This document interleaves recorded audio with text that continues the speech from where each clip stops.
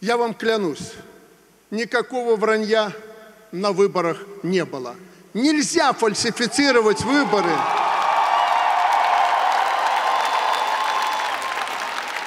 Нельзя фальсифицировать выборы в 80%.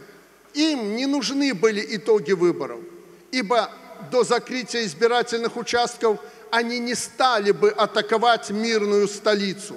За два с половиной часа они начали эту атаку, собравшись в обеденное время, когда люди шли на выборы. Весь этот день был соткан из провокаций. И последняя провокация – это блокирование на 69 участках в городе Минске и в отдельных городах нашей страны ни в чем не повинных людей, членов избирательных участковых комиссий. В основном там работали женщины, учителя, врачи, которые выполняли свой государственный долг. И мне пришлось приказать армии, чтобы их на бронемашинах эвакуировали. Это неприемлемо. И с этого все началось. Я не мог этого терпеть.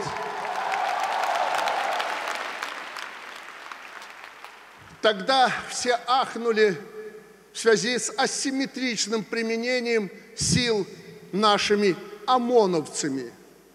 Якобы на Крестина они кого-то побили. Заявляю вам, абсолютно просвещенно. Люди этого не знают. ОМОНовцы никогда не дежурят, никогда не были ни в СИЗО, ни на Окрестина. Там несут службу военнослужащие внутренних войск – но все острие было направлено против этих ребят, потому что они спасли страну и сорвали Блицкрик.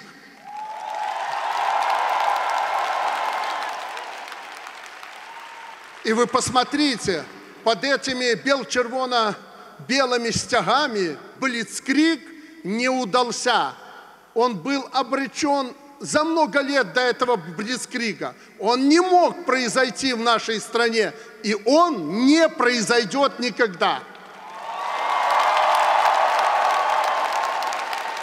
Когда не удалось захватить власть сходу, смять столицу, поднять всю страну, тогда было придумано по методичке, нам это известно, многим из вас тоже – другая волна. Красивые девушки с белыми цветами, в белых платьях, в белых чулках и без них вышли на площадь и на улицы Минска. Красивого, уютного, убранного города-героя Минска. Они хотели показать, что они мирные люди после того, когда их остановили на улицах и площадях. И это не прошло, потому что кроме тех девчонок, я не хочу сказать, что они плохие. Нет, это наши девчонки, которые стояли на улицах. Они опомнятся, многие уже опомнились. Кроме них еще есть вы, которые приехали сегодня и сказали свое слово. Не удался и этот этап. Тогда на затухании протестного движения надо было его как-то возродить. Нас начали провоцировать. Все рассчитывали, что мы ответим, и ответим жестоко. Все рынулись ко Дворцу независимости. Надо было его взять штурмом. Не получилось. Провалился и этот этап. Мы терпели.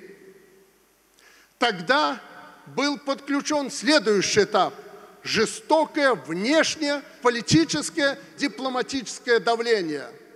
Соседние страны отказываются признавать результаты выборов и по венесуэльскому сценарию нашли белорусскую Гуайдиху и объявили ее президентом.